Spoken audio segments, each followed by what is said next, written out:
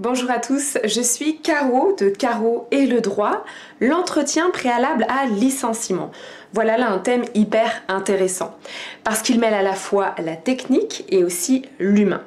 La technique d'une part, puisqu'il y a un certain nombre de règles très spécifiques qu'il faut suivre, et si on ne les respecte pas, eh bien il y a des sanctions à la clé.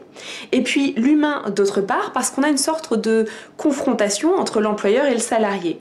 Et même si ce mot est un petit peu dur, dans la réalité c'est souvent perçu comme ça, comme une confrontation qui va exacerber tout l'aspect émotionnel de la relation de travail.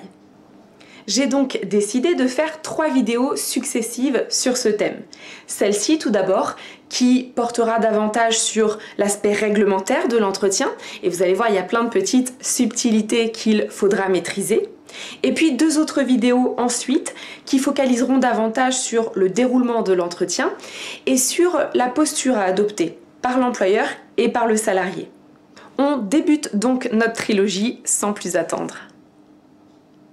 Petite parenthèse préalable, sachez que j'ai fait une vidéo sur la lettre de convocation à entretien préalable et les trois erreurs à éviter.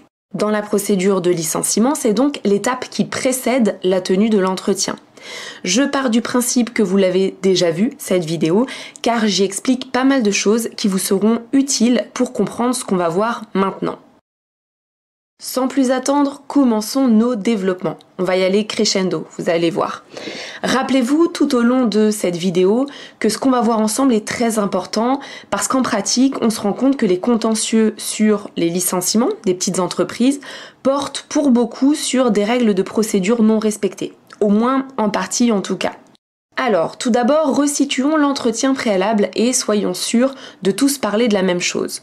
L'entretien préalable, c'est une des étapes obligatoires lors de toute procédure de licenciement.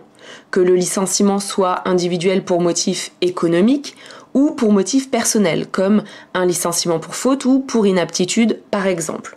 Plus concrètement, l'entretien préalable consiste en un rendez-vous qui réunit le chef d'entreprise d'un côté, c'est lui qui conduit l'entretien, et le salarié de l'autre. Lors de ce rendez-vous, l'employeur va exposer au salarié les raisons pour lesquelles un licenciement est envisagé et il va ensuite écouter les observations du salarié. Oui, parce qu'à ce stade de la procédure, l'employeur n'a pas encore pris sa décision de licencier le salarié. Et c'est justement pour cela qu'il le convoque à un entretien, pour échanger avec lui et voir ensuite si effectivement il va procéder au licenciement ou non.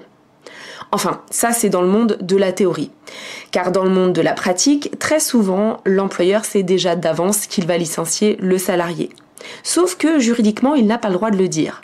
Donc, mon conseil ici, à destination des employeurs, est le suivant. Attention, lors de l'entretien préalable, parlez au conditionnel.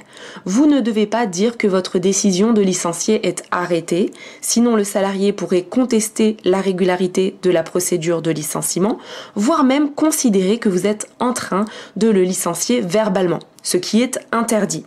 Allez voir ma vidéo sur le licenciement verbal pour plus de détails sur ce point.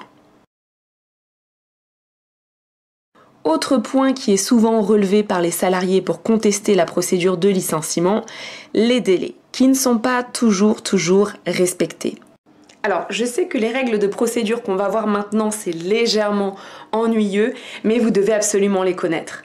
Vous, chers dirigeants, pour pouvoir les respecter, bien sûr, mais aussi vous, chers salariés, pour vérifier qu'elles ont bien été respectées.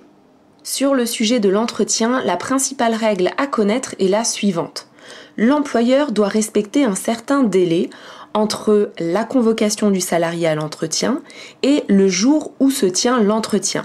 Pourquoi ce délai? Eh bien tout simplement pour laisser du temps au salarié pour trouver éventuellement un conseiller pour l'assister lors de l'entretien. Ça, on le verra dans les prochaines vidéos. La durée de ce délai, vous la connaissez sans doute, c'est 5 jours minimum. Donc 5 jours au moins doivent s'écouler entre la convocation et l'entretien. Cela étant, j'aimerais attirer de suite votre attention sur trois points qui, eux, sont beaucoup moins connus et sur lesquels en général ça pêche un petit peu. S'il y a une erreur, en général, c'est là qu'elle se cache. Premier point, savoir que le délai de 5 jours se décompte en jours ouvrables et pas en jours calendaires. C'est déjà une précision importante et vous êtes un certain nombre à ne pas faire la différence entre un jour ouvrable et un jour calendaire. Deuxième point, il vous faut tenir compte du délai d'acheminement postal si vous envoyez le courrier de convocation aux salariés par la poste. Car le délai de 5 jours court en fait le lendemain du jour de présentation du courrier par la poste. Je répète, le délai court le lendemain du jour de présentation du courrier par la poste. Beaucoup d'employeurs font l'erreur de croire que le délai de 5 jours court à compter du jour où ils déposent le courrier de convocation à la poste. Et non, si vous partez de cette idée-là, votre calcul du délai de 5 jours sera faux. Enfin, troisième point, si le délai se termine un week-end ou un jour férié, il faudra alors le prolonger jusqu'au jour ouvrable suivant. Donc, s'il se termine un dimanche, par exemple, vous devez faire comme si il se terminait en fait le lundi, car le lundi est le premier jour ouvrable qui suit.